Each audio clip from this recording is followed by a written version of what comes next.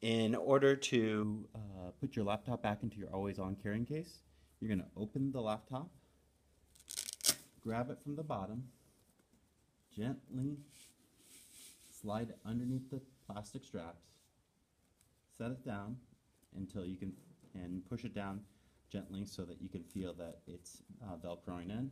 And then when you're ready to go, you're going to go ahead and make sure you zip up the case in its entirety. And then you can carry it with you.